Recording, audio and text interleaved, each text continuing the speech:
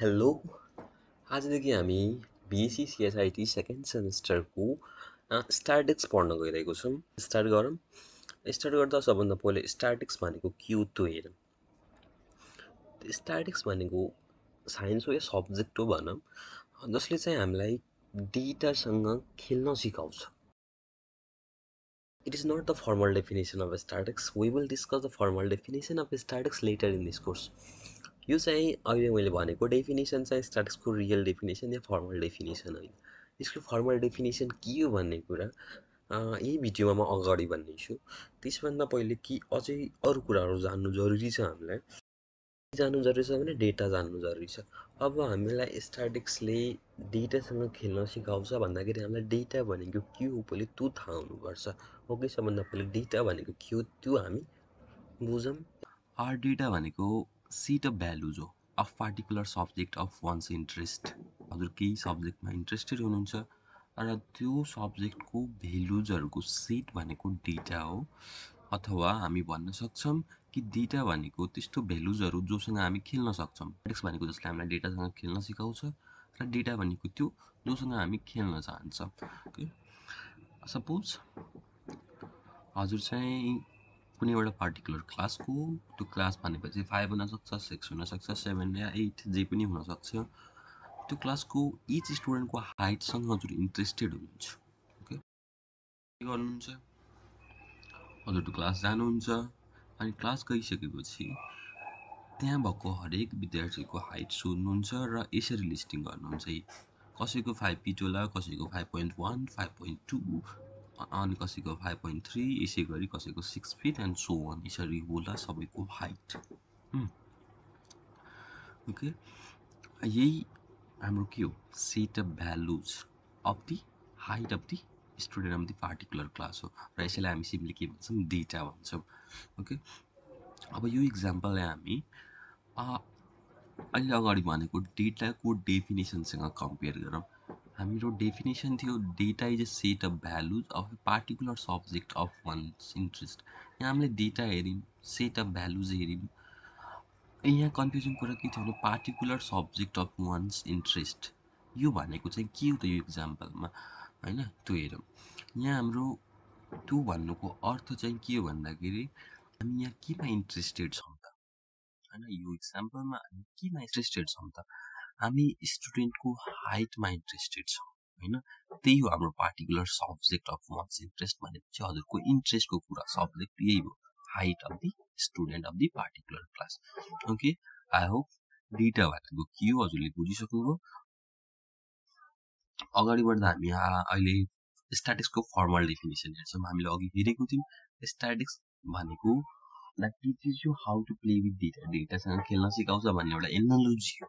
अब इसको रियल या formal definition के हो त्यो हेरौँ okay Statistics is the branch of mathematics that deals with collection, organization, analysis, interpretation, and presentation of data. Statistics भनेको डेटालाई कलेक्ट गर्नु अर्गनाइज गर्नु एनालाइज गर्नु इन्टरप्रेट गर्नु र प्रेजेन्ट गर्नु यो सबै काम गर्छ होइन यो सबै काम गराउने म्याथको ब्रान्च भनेको statistics As I have already told you that studies the science that teaches you how to play with data. मैले अगाडि नै भनिसकेँ स्ट्याट भनेको यस्तो साइन्स हो जसले हामीलाई के गर्न सिकाउँछ डेटासँग खेल्न सिकाउँछ अनि अहिले भर्खर फर्मल डेफिनेसनमा के हेऱ्यौँ कि डेटाको कलेक्सन अर्गनाइजेसन एनालाइसिस इन्टरप्रिटेसन र प्रेजेन्टेसन भनेको पनि स्ट्याटिक्स हो so we can see that collection, organization, analysis, interpretation, presentation are the steps in the game we play with data. हामी डेटासँग जुन गेम खेल्न गइरहेको छौँ त्यसको यो पाँचवटा स्टेप्सहरू जुन के हुन्? कलेक्सन अर्गनाइजेसन एनालाइसिस इन्टरप्रिटेसन र प्रेजेन्टेसन यो सबै के हो?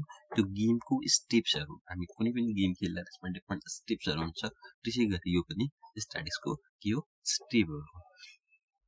ओके अब म के गर्छु भने यो हरेक पाँचवटा टर्महरूलाई एक एक गरे एक्सप्लेन गर्न गएँ।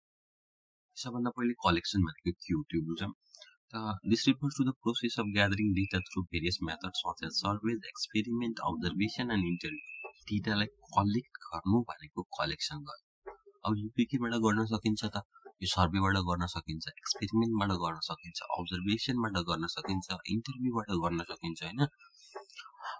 हामीले अगाडि लिएको इक्जाम्पलमा हामीले के गरेको थियौँ भने त्यो पार्टिकुलर क्लासको स्टुडेन्टको हाइट कलेक्ट गरेको थियौँ होइन? कसरी गरेको थियौँ भने इच स्टुडेन्टलाई हामी हरेक विद्यार्थीलाई त्यसको हाइट सोधेर यसरी नोट डाउन गरेको थियौँ हामीले। जसरी हामीले गऱ्यौँ त्यही भनेको सर्वे त्यही भनेको सर्वे हो। र यसरी नै हामी एक्सपेरिमेन्टबाट पनि गर्न सक्छौँ। अब्जर्भेसनबाट पनि गर्न सक्छौँ र कसैलाई इन्टरभ्यू कसैको इन्टरभ्यू लिएर पनि हामी डेटा कलेक्सन गर्न सक्छौँ या डेटा ग्यादर गर्न सक्छौँ जसलाई हामी त्यो प्रोसेसलाई के भन्छौँ कलेक्सन भन्छौँ ओके हामी जाउँ अर्गनाइजेसनतिर अर्गनाइजेसन भनेको के हो भन्दाखेरि organization refers to the process of organizing or arranging and classifying data in a logical and meaningful way so that it would be easy to study, analyze, interpret, and present the data. Organization भनेको डेटालाई arrange गर्ने काम हो। क्या यस्तो meaningful या logical वेमा कि त्यसलाई पछि गएर स्टडी गर्न सजिलो होस्। त्यसको लागि यहाँ हेर। यहाँ हेर। The book scattered on the floor हाम्रो धेरै बुकहरू छ। हामीसँग सपोज धेरै बुकहरू छ र त्यसलाई हामीले यसरी फ्लोरमा जताततै छरेर राखेको छ भने कि त्यहाँबाट हामीले कुनै बुक खोज्नु पर्यो या कुनै बुक पढ्नु पर्यो भने कि त्यो सजिलो हुन्छ। त्यसरी नै त्यही किताबलाई हामीले यसरी लाइब्रेरीमा सजाएर राख्यौँ भने या लाइब्रेरीमा सजाएर राख्यौँ भने अब यहाँबाट पढ्ने र किताब खोज्न सजिलो हुन्छ कि हुँदैन पक्कै पनि हुन्छ त्यसैले डेटाको अर्गनाइजेसन पनि नेसेसरी भएको ओके अब हामी डेटालाई डिफ्रेन्ट तरिकाले अर्गनाइज गर्न सक्छौँ र एउटा तरिका चाहिँ के हो भने सिरिजको कन्सेप्ट लिएर अर्गनाइज गर्न सक्छौँ होइन सिरिज भनेको डेटालाई अर्गनाइज गर्ने एउटा वे हो। बट हामीसँग सिरिज तिन टाइपको छ।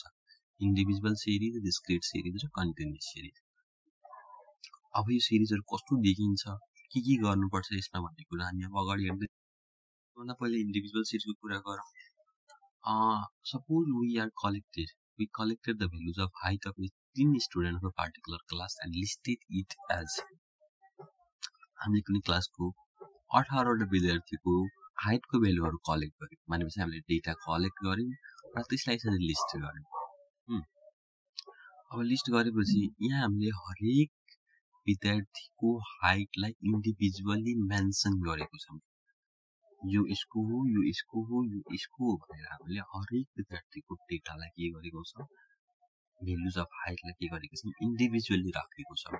र यस्तो यदि हामीले यसरी डेटालाई एरेन्ज गर्यौँ भने यसलाई भन्छ इन्डिभिजुअल सिरिज ओके?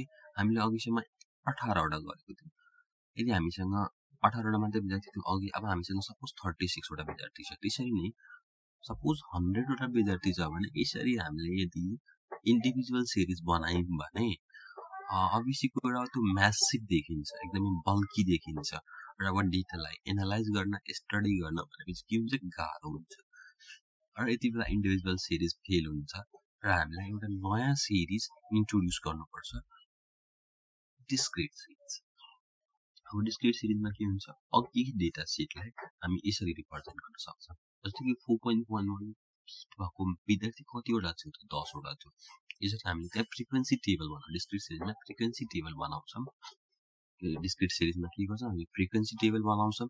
जसमा एकापट्टि भेल्यु हुन्छ भने त्यसको चाहिँ करस्पोन्डिङ भेल्यु के हुन्छ कतिवटा विद्यार्थीसँग एसाइन छ त्यो हाइट भनेर हामी यसरी निकाल्नु जस्तै four point four point one one height भएको विद्यार्थी दसवटा छ फाइभ फिट भएको विद्यार्थी ट्वेन्टीवटा छ फाइभ पोइन्ट वान फिट भएको विद्यार्थी ट्वेन्टीवटा छ होइन? यसरी सिक्स फिट भएको विद्यार्थी टेनवटा छ।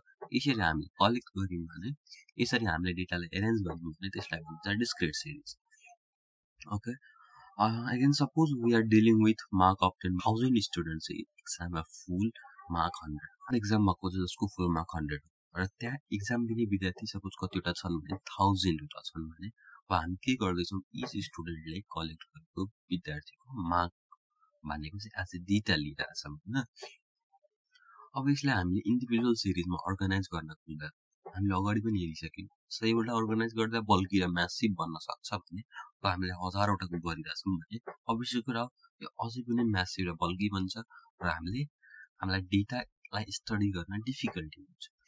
ओके अब हामी यसलाई फेरि पनि डिस्क्रिट सिरिजमा अर्गनाइज गर्न खोज्यौँ भने के हुन्छ भन्दाखेरि हामीसँग यो इक्जाम्पलमा के छ भन्दाखेरि four point one height four point one वानदेखि लिएर सिक्स फिटसम्म मात्रै हाम्रो डेटा रेन्ज गरिरहेछ। र अब हामीले हाम्रो फुल मार्क हन्ड्रेड छ भने अभियसली कुरा हो थाउजन्डवटा विद्यार्थीमध्ये पोसिबिलिटी के छ भन्दाखेरि मा विद्यार्थीहरूले जिरोदेखि हन्ड्रेडसम्म कुनै पनि मार्क ल्याएको हुनसक्छ क्या। र हामीले यसरी अर्गनाइज गऱ्यौँ भने डिस्क्रिट डेटामा डिस्क्रिट सिरिजमा अर्गनाइज गऱ्यौँ भने टेबुलर फर्ममा यस्तो हुन्छ सपोज जिरो मार्क ल्याएको विद्यार्थी दसवटा छ। एक मार्क ल्याएको विद्यार्थी बिसवटा वान पोइन्ट फाइभ मार्क ल्याएको विद्यार्थी ट्वेन्टीवटा र यसरी गर्दै जाँदा हामीसँग कतिवटा कोलुम बन्न जान्छ त? हन्ड्रेडभन्दा नि बढी बन्न जान्छ। र अघि नै के हुन्छ बल्की देखिन्छ म्यासिभ देखिन्छ र डेटा स्टडी गर्न गाह्रो हुन्छ। र यति बेला हाम्रो डिस्क्रिट सिरिज पनि फेल खान्छ र हामी कहाँ जान्छौँ?